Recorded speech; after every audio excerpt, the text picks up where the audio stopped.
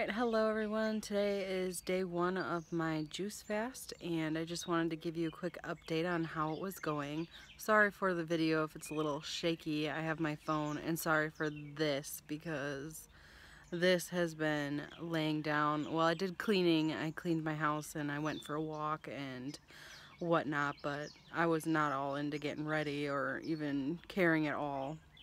So I started the morning, I had a fruit type of juice, but it still had celery and ginger in there, and I have found out that I hate that flavor. So that was disgusting. So literally while I'm drinking these juices, I'm plugging my nose and drinking it through a straw, and then while plugging my nose, like I finished the entire drink without unplugging my nose, and then after I finish the juice, then I take water and I drink it while plugging my nose to rinse out my mouth and then, while still not unplugging my nose, I take a piece of gum and chew, chew the gum to completely erase the flavor from my mouth.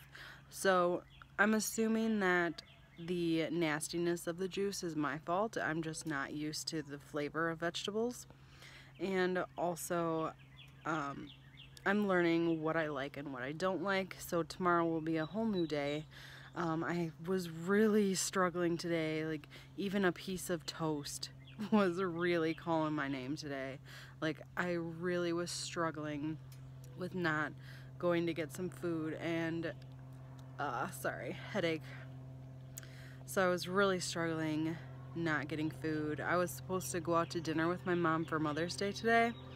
Canceled that because I knew I couldn't handle it and I didn't want to start over. Like I'm bound and determined to do this 10 days at least.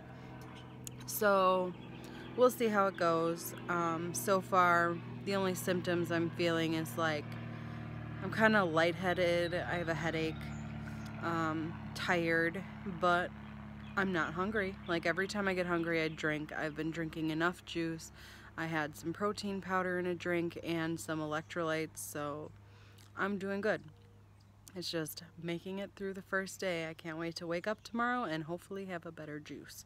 So that's my recap for day one and yeah, we'll see you tomorrow on day two.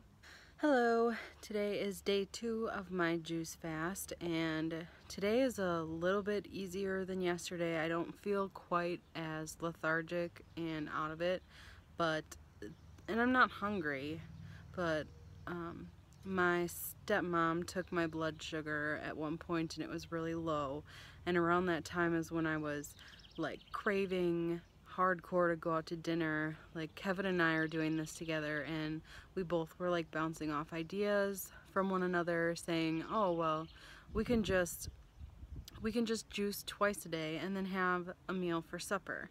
Like we'll still lose weight. It'll all be good like just one meal, just one meal. So all day today we have been talking back and forth about reasons why we don't have to do the juice fast 100% and reasons why we can go out to eat, get that cheeseburger or that steak. So it's been really tough battling my brain and just like getting past it. Like I really hope on day four this is all over and I'm no longer jonesing for food.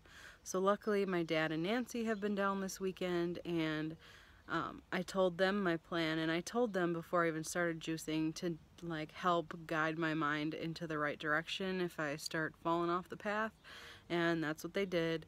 Um, my dad said that I could have a nice breakfast as long as I just stick out, just do two days, just do two days in a row, total juice fasting, and see how you feel in the morning. So that's what I'm going to do.